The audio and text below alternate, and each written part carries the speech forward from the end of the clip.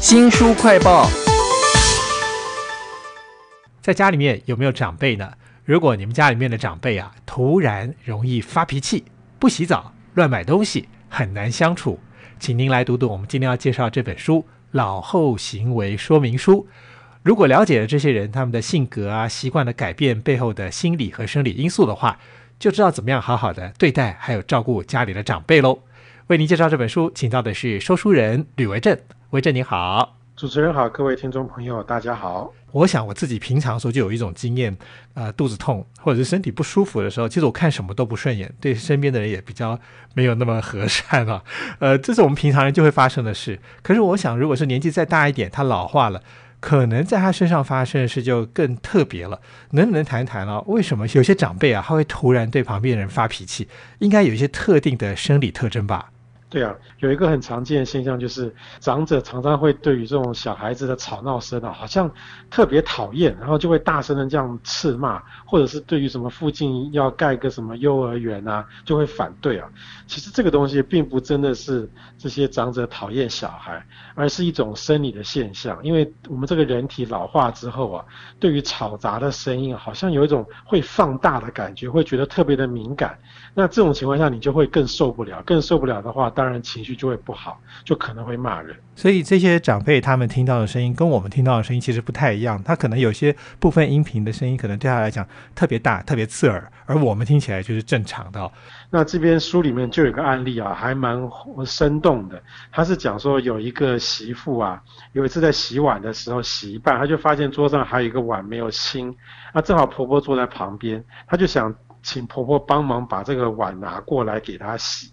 可是她讲完之后，那个婆婆好像没有什么反应啊。结果这个时候啊，坐在客厅大老远的，就是她丈夫啦，就是她婆婆的儿子啊，就随便讲了几句话，哎，这个婆婆马上就反应了。所以这个就让这个媳妇觉得很不公平，好像被虐待一样哈。那其实呢，是因为长者听不到高频的声音啊，因为我们一般这个女生讲话的频率是比男生要高的，所以的确会有一种女生讲话的很容易被这个。长者忽略，所以请大家一定要了解，并不是他故意听不到或是不理你，是他有可能真的听不到或是听不清楚。如果碰到这种情况，我能够想到的通常都是大声的在他耳边说话，这样会有效吗？还是说我做错了，应该要怎么做呢？其实并不是说在耳边大声说话。重点应该是说，我应该要让这个长者知道我在跟他说话。那当然比较好的做法就是说，呃，我直接站在坐在长者的正前方跟他说话。这样子的话，他就会知道说，哎，的确我是在对着他讲话。那另外就是像刚刚讲的，因为这个高频的声音啊，可能听不太清楚。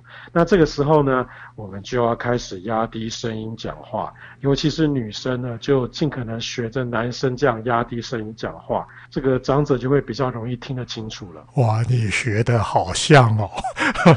其实这一本老后行为说明书，那里头应该我觉得不可能只有讲到听觉而已，应该还有很多很多的感官全部都在退化或变化吧？还有什么比较有趣的变化？呃，可能会在我们的日常生活中会显露出来呢？好，那像我们刚刚讲的是听觉嘛，那其实，在书里面还有提到说，像我们这个嗅觉啊，嗅觉大概在五十到六十岁左右就会开始这样退化。那这个嗅觉跟味觉啊，往往也是有相关的。像这个书里面就举到另外一个例子啊，有一个女生啊，这个在外头工作嘛，那就比较少回家啊。有一次呢，老爸就说，哎，你什么时候回来啊？那个我很想念你做的菜啊。啊，这个女生就说，好啊好啊，老爸我就回家做给你吃。结果这个菜端上这个餐桌之后啊，就突然发现这个老爸尝了一口，就开始突然加这个酱油，加的很咸。然后呢，这位小女女生就觉得说，奇怪了，你不是说我的菜很好吃吗？为什么又要加一堆酱油？就觉得说，你是不是在骗我，还是唬我什么的？其实呢，按照这个作者的说法，我们这个味觉可能包含什么咸甜苦味辣等等啊，其中这个咸味的感觉啊，退化的非常的快。那个如果说想要跟这个年轻的时候吃到一样的咸味啊，他们有估计说大概盐分要加到十二倍以上，这么多的一个这么咸的程度，才有办法跟年轻的时候吃到一样的味道。所以这个真的是听起来太可怕了。哇，这本书其实提到还有很多的不同感官的变化，其中有一个我觉得那个我们一定会想象到，就是老化的时候眼睛可能会变得比较不好。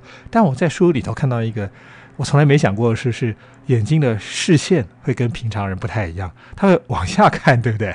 对对对，其实这个是跟我们这个眼睛那个眼睑啊会垂下来是有关系的，就是随着年龄的增长啊，那个眼睑会开始变松，变松就会不自觉的垂下来。但是我们平常就很难说，总是不能不太可能呢，一直用这个手去把那个眼睑这样这样往上往上拉嘛。所以说，当这个眼睑垂下来之后，我们的视线，尤其是这个上半部的视线啊，就会受到限制。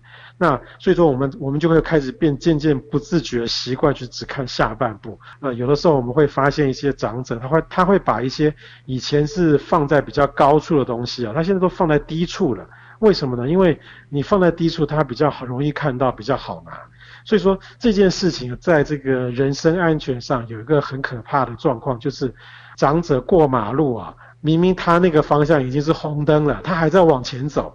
然后就觉得很危险，也觉得说，为什么人老了好像都会这样，就觉得有点对长者生气。其实啊，这也是因为啊，他都是这个眼睛都往下看，他已经不太习惯去注意到红灯了没有。所以说他还以为他是绿灯正在走路，是因为这样。所以年长的人他的眼睛都是往下看的哈。那这本书呢，书名叫做《老后行为说明书》，它不只是讲到人的生理状况的变化，它其实讲到一些心理的变化，我觉得也蛮有趣的。比如说像刚刚讲那个媳妇儿啊、女儿啊，她跟这个妈妈或爸爸之间的那种情感的关系，很可能会因为误解而产生问题啊。在这本书里头，家属啊一看到那个老先生、老太太他们那个记忆力变差的时候，他最常问到的一个事情就是他怕他是。失智症，因为失智症无法可逆嘛，但还是说只是老化，记忆力变差，而这中间怎么样的分辨呢？其实这个这本书中作者对于这个到底是一般性的这个记忆比如衰弱呢，还是说是失智呢？它有一个简单的区别的方式啊，就是说，呃，当这个长者在讲说啊，就是那个那个这个这个总是想不起来那个名词或是那个东西要怎么去说的时候。如果接下来长者的反应啊，可能是有点是觉得感叹说啊，人老了记不住了什么，这样子的话，可能只是一个简单的就是记忆力会慢慢衰减的一个情况。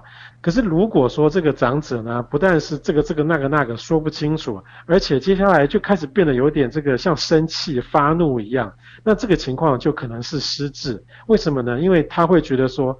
哎，我我这个记不住的状况，居然被大家发现了，觉得很懊恼，实在不想被发现，就很生气。哇，不管是记性变差，或者是失智哈，可以想办法延缓它的恶化。我在书里面还看到一个，就是用身体来帮助记忆，对不对？对对对，能够促进记忆的方式，其中有一项就是，其实我们人哈，对于这个我们自己身体的动作。这一方面的记忆其实是比单纯的记一些事情要好一点，所以他就这样建议说，如果我们想要记住什么事情的话，不要只是单纯就站在那站在那边想就算了，最好可以搭配一个身体的动作。比方说呢，我们可以一边这个种花种草，或者是一边喝这个老人茶的时候呢，就开始边想说我们要记住哪个事情，这些身体的动作就会有助于我们记住我们同时想要记的事情。不管这些长者啊他出现什么样生理或心理的问题啊，最重要是要你要先了解他背后的原因，那你才够好好的对待。所以这本老后行为说明书啊，它就提供了各种解决的方法。今天非常谢谢说书人吕维正来为我们介绍这本老后行为说明书，谢谢维正，谢谢大家，欢迎下一次同一时间继续收听新书快报。